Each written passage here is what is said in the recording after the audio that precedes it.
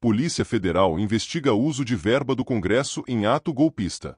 Segundo a apuração da jornalista Daniela Lima, da Globo News, a Polícia Federal chegou ao nome do deputado federal Gustavo Gayer, do PL de Goiás, durante análise do celular de João Paulo de Souza Cavalcante, preso na operação que investiga os financiadores dos atos golpistas ocorridos em 8 de janeiro. João Paulo de Souza Cavalcante. Quem é este cidadão? A Polícia Federal chega até ele investigando os financiadores dos atos golpistas do dia 8 de janeiro. Ele é preso, o celular dele é apreendido. A Polícia Federal passa a analisar o celular dele. E aí é que a Polícia Federal chega em Gustavo Gayer. Quem era este João Paulo? A partir de agora nós vamos chamá-lo assim, João Paulo de Souza Cavalcante. Ele tinha um CNPJ, tinha uma série de pendências com a Justiça Eleitoral, por exemplo, não teve contas aprovadas, não estava quite com a Justiça Eleitoral. Ele era uma pessoa que já tinha ali, digamos, certa dificuldade, pelo menos no que se diz, uh, no que diz respeito a finanças públicas. O que está lá na Justiça Eleitoral, por exemplo, ele não estava quite. Este personagem passa a trabalhar para Gustavo Gayer. Como? Lembrando, ele era financiador dos atos golpistas. Você vai conhecer agora no detalhe quem é esse personagem e como ele arrastou um deputado federal muito importante para a extrema-direita, para o centro da investigação, não só de desvio de verba, mas do ataque à democracia. Vamos mostrar aí o primeiro diálogo que foi encontrado no celular deste João Paulo. A gente vai botar ele aqui, ó, para vocês. Ó, ele está explicando para um parça dele o que, que ele vai fazer, como que ele vai fazer para poder entrar no gabinete do deputado Gustavo Gayer. Ele queria ser contratado, receber um dinheiro de assessor. Ele fala: então, vou ter que entrar com outro nome, com outro Senai, porque é o seguinte: eu não consegui entrar no gabinete do Gustavo porque eu não consegui a minha certidão de quitação eleitoral. Ele aqui explica que ele foi lá até tentou resolver na Justiça Eleitoral, mas não conseguiu. E aí ele vem com o pulinho do gato.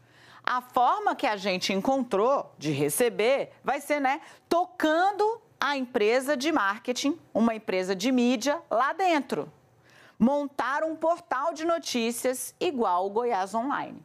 Eles criaram um CNPJ para simular uma relação de contrato entre o gabinete do deputado e essa empresa.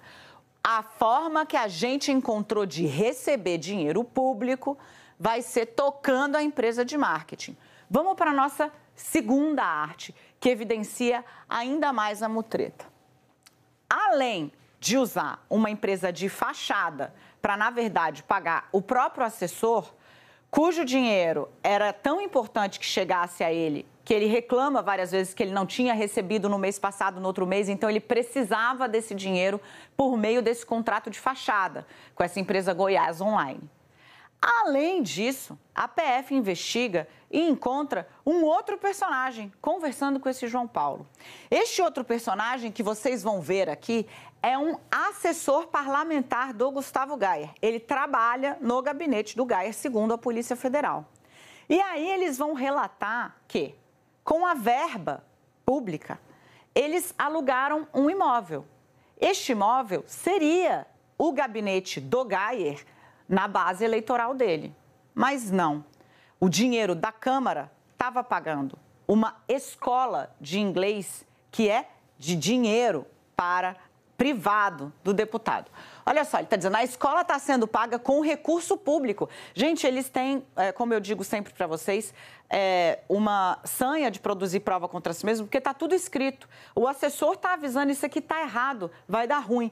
Ou seja, a escola está sendo paga com recurso público da Câmara e está sendo usada para um fim totalmente que, tipo, não existe, né? Não tem como ser assim. E aí eles vão levando, ou seja, ainda não entenderam a gravidade, sabe? Segue a conversa. Ele cita o Gustavo Gayer, o deputado que estava usando dinheiro público para bancar a escola privada dele. Ele é uma vidraça hoje, ele é um alvo. E se ele for para cima, moço, infelizmente a gente está tipo errando, né? Nesse sentido, a gente está pregando uma coisa.